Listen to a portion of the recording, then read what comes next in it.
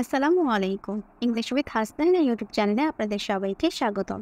আশা করছি আপনারা সবাই অনেক বেশি ভালো আছেন। আজকের ক্লাসে আমরা খুব সুন্দর একটা ইংলিশ স্টোরিকে বাংলায় ট্রান্সলেট করব এবং বোঝার চেষ্টা করব যে কখন কোন ওয়ার্ডটা ব্যবহার করতে হয়, কীভাবে ব্যবহার করতে হয়। গ্রামাটিক্যাল নিয়ম নিয়ে আলোচনা করার চেষ্টা করব এবং প্রত্যেকটা ওয়ার্ডের মানে বোঝার চেষ্টা করব যাতে আমরা খুব সহজে ইংরেজি লিখতে, বলতে, পড়তে এবং বুঝতে পারি। চলুন আজকের ক্লাসটা শুরু করি। The obstacle in our path or opportunity the obstacle obstacle মানে হচ্ছে বাধা। ইন আওয়ার পাথ আওয়ার মানে হচ্ছে আমাদের পাথ মানে হচ্ছে পথে। আমাদের পথে বাধা অথবা অপরচুনিটি অপরচুনিটি মানে হচ্ছে সুযোগ, সুবিধা। ওকে স্টার্ট করি এবার। In ancient times ancient times মানে হচ্ছে প্রাচীনকালে ইন এনশিয়ান্ট টাইমস মানে প্রাচীনকালে ওকে আ কিং একজন রাজা a king had a boulder placed on a roadway had placed মানে হচ্ছে, এখানে প্লেস একটা ভার্ব আকারে ব্যবহার করা হচ্ছে। কোনো একটা প্লেসকে যখন আমরা নাউন হিসেবে ব্যবহার করি, তখন তার মানে হয় জায়গা এবং একটা প্লেস কিন্তু একটা ভার্বও যার মানে হচ্ছে কোনো কিছু রাখা। হ্যাড প্লেসড মানে তিনি রেখেছিলেন। ওকে কী হবে? রেখেছিলেন আ বোল্ডার আ বোল্ডার মানে হচ্ছে একটি পাথর। এই বোল্ডার এমন পাথরকে বোঝানো হয় যে পাথরটা অনেক বড় এবং ভারী থাকে। ওকে একটি পাথর রেখেছিলেন। কী হবে? রেখে ছিলেন হ্যাড প্লেসড রেখেছিলেন। আ বোল্ডার মানে হচ্ছে একটি বড় এবং উঁচু ধরনের পাথর on a roadway on a roadway মানে হচ্ছে একটি রাস্তার পথে। হ্যাড প্লেসড এটা হচ্ছে past perfect tense okay had এর পর যখন বর্বের পাস্ট পার্টিসিপল ফর্ম থাকে, তখন সেটা পাস্ট পারফেক্ট টেন্স হয়ে যায় মানে অতীতেরও অতীত ওকে তারপর হি দেন হিট হিমসেলফ তিনি তারপর হিট মানে হচ্ছে লুকালেন হিমসেলফ মানে হচ্ছে নিজেকে।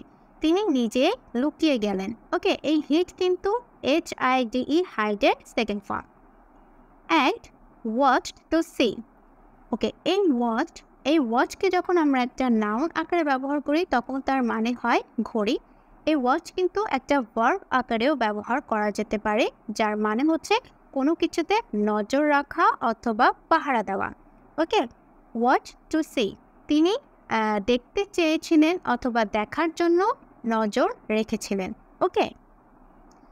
ইফ, এখানে ইফ কনজাকশন হিসেবে ব্যবহার করা হচ্ছে, যার মানে হবে কি না ওকে?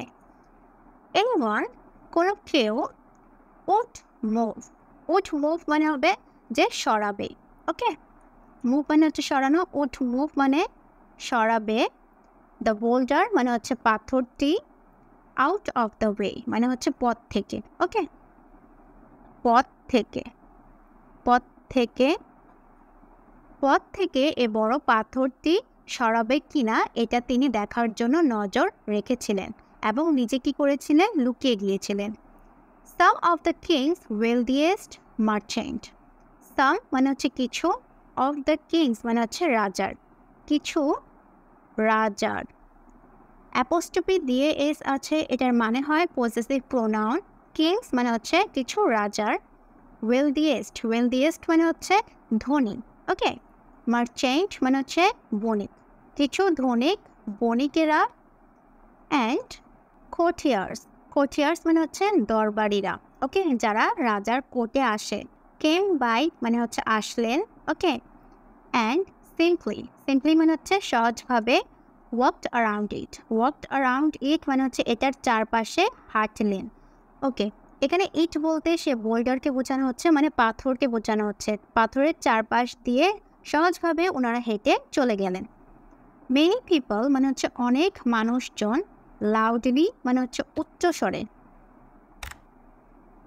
উচ্চ স্বরে ব্লেড মানে হচ্ছে দোষ দিল, কাউকে দোষারোপ করা দোষারোপ দোষারোপ করল ব্লেড করল দ্য কিং মানে হচ্ছে রাজাকে অনেক উচ্চস্বরে কিছু মানুষেরা দোষারোপ করল।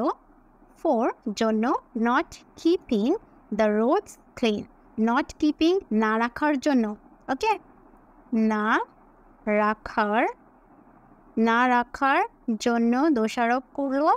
দ্য রোডস মানে হচ্ছে রাস্তা। ক্লিন মানে হচ্ছে পরিষ্কার।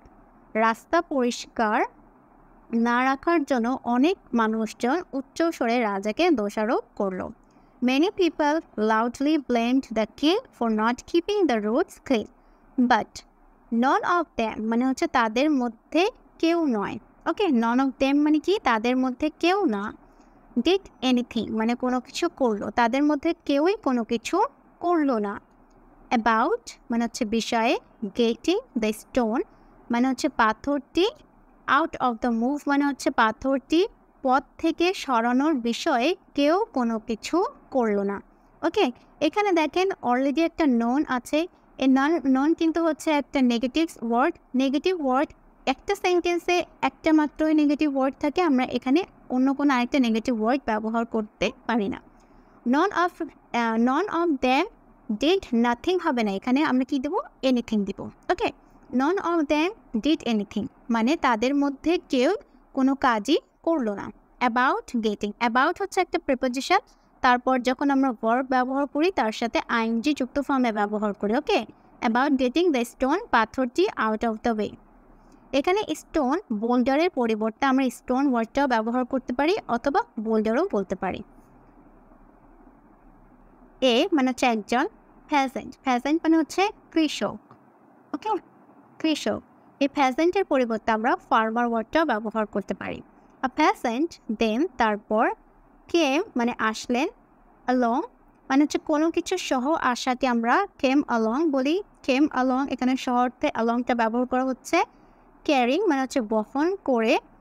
আ লোড মানে হচ্ছে একটি বোঝা অফ ভেজিটেবলস মানে হচ্ছে শাকসবজির একটি বোঝা বহন করে তিনি মানে একজন কৃষক আসলেন। আপন অ্যাপ্রোচিং দ্য বোল্ডার আপন মানে হচ্ছে কাছে। অ্যাপ্রোচিং যাওয়ার সময় দ্য বোল্ডার মানে হচ্ছে পাথরের কাছে যাওয়ার সময়।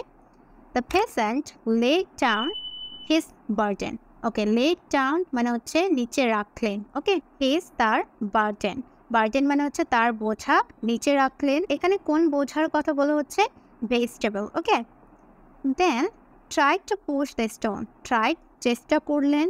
টু পুশ মানে হচ্ছে ধাক্কা দেওয়ার the stone out of the road পথ থেকে পাথরটিকে সরানোর জন্য তিনি চেষ্টা করলেন। After much pushing and straining okay after much মানে হচ্ছে অনেক পুশিং মানে হচ্ছে পুশিং অ্যান্ড স্ট্রেনিং মানে হচ্ছে ধাক্কাধাক্কি করার পরে ওকে ধাক্কাধাক্কি ধাক্কা ধাক্কি অনেক ধাক্কাধাক্কি করার পরে, অনেক ধাক্কাধাক্কি করার পরে after much pushing and straining he finally succeeded okay he অবশেষে সাকসিডেড মানে সফল হলেন। তিনি অবশেষে সফল হলেন। After the patient went back to pick up his vegetables okay after মানে হচ্ছে পরে দ্য পেশেন্ট মানে হচ্ছে কৃষক ওয়েন্ট ব্যাক মানে ফিরে গেলেন। ওকে ফিরে গেলেন টু পিক আপ মানে হচ্ছে নিতে। হিজ তার ভেজিটেবলস তার সবজিগুলো বা ওনার সবজিগুলো আবার নেওয়ার জন্য যখন তিনি ফিরে গেলেন হি নোটিসড তিনি লক্ষ্য করলেন আ পার্স একটি পার্সকে তিনি লক্ষ্য করলেন lying in the road lying মানে পড়ে আছে দ্য বোল্ডার হ্যাড বিন যেখানে পাথরটি হ্যাড বিন মানে ছিল, যেখানে পাথরটি ছিল সেখানে একটি একটি পার্স পড়ে আছে, তিনি লক্ষ্য করলেন। ওকে এখানে একটা শেখার আছে, একটা বিষয়, সেটা হচ্ছে, হি নোটিসড এটা কিন্তু past indefinite tense where the boulder had been এই হ্যাড বিন কিন্তু হচ্ছে পাস্ট পারফেক্ট টেন্স লাইক এখানে দুটার মধ্যে পার্থক্য কি? পাস্ট পারফেক্ট হচ্ছে অতীতেরও অতীত, যেটা অতীতের অতীতে ঘটে গিয়েছে। লাইক পাথরটি আগে ওখানে পড়া ছিল, তারপর তিনি পার্স দেখলেন, এর জন্য এখানে এই পাথরকে আমরা কি বলব? যে পাথর ছিল, এটাকে বলব আমরা the the boulder had been মানে ছিল। এই বিন কিন্তু বিয়ের past participle form B B been the purse contained many gold coins contained মানে পার্সে ছিল। মেনি গোল্ড কয়েন মানে হচ্ছে অনেকগুলো স্বর্ণের কয়েন ছিল। অ্যান্ড আ নোট একটি নোট ছিল। ফ্রম দ্য কিং মানে হচ্ছে রাজার কাছ থেকে একটি নোট ছিল। এক্সপ্লেনিং এক্সপ্লেনিং মানে হচ্ছে ব্যাখ্যা করছিল। দ্যাট যে the gold was for the person মানে হচ্ছে স্বর্ণটি সেই মানুষের জন্য। ফর দ্য পার্সন মানে কি? সেই মানুষের জন্য ওয়াজ হু রিমুভড যে সরিয়েছে।